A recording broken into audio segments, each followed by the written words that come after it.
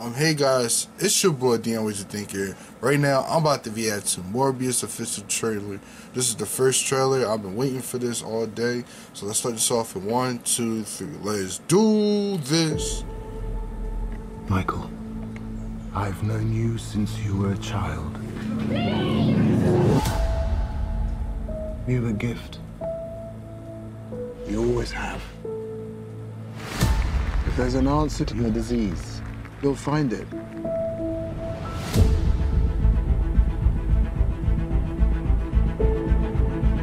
I should have died years ago. Why am I still here if not to fix this? I have a rare blood disease, and I'm running out of time. This could be my last chance. You're up to something. What is it? It's not exactly legal. I want to see you get hurt more than you already have. This would be a cure.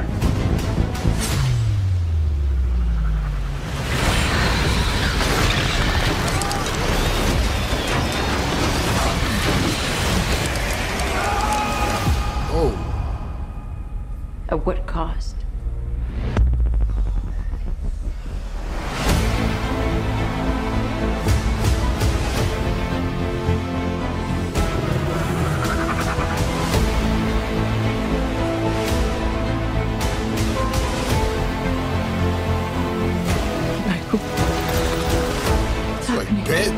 I'm dying.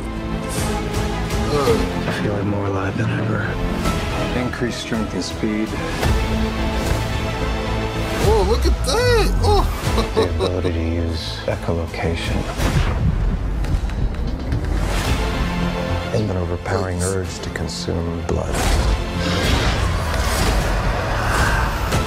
This not rated R. Is, is this rated R? Like, how far are we allowed to go? To fix something that's broken. Until the remedy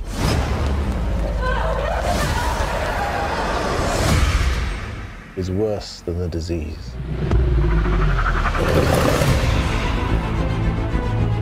oh, God. Michael Morbius. Got tired of doing the whole good guy thing, huh? What's up, Doc?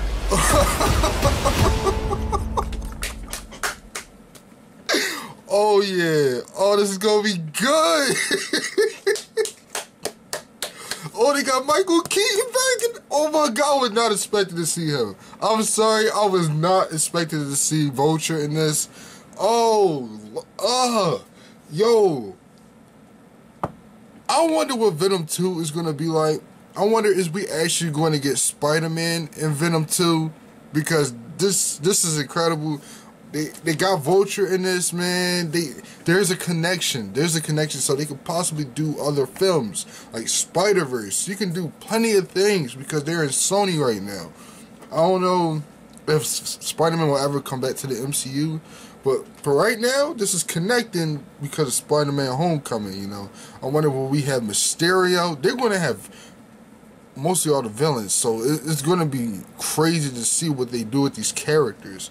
And if Spider-Man is involved in this, any shape or form, I'm going to lose my mind. Especially, no, especially in Venom 2, the fact that they're going to have Venom and Carnage in the same movie, they're going to have to some way get Spider-Man in that film. This is a, it confirms that this is a connection to the Spider-Man universe. So that's a good thing because I hate when studios just hold these characters back to their full potential. They don't really want to work with them because they're afraid. But they took a risk by showing that Vulture character. So now we're going to see Spider-Man. I guarantee we're going to see Spider-Man in this universe with Morbius, Venom, and probably even Kraven. There's so many Spider-Man villains, man. They're probably gonna do a bunch of them. So I I can't wait to see how this goes. To me, this looks like a rated R film. I don't know if this is gonna be PG-13 or R rated. But anyways, guys, please like, share, and subscribe. And bye.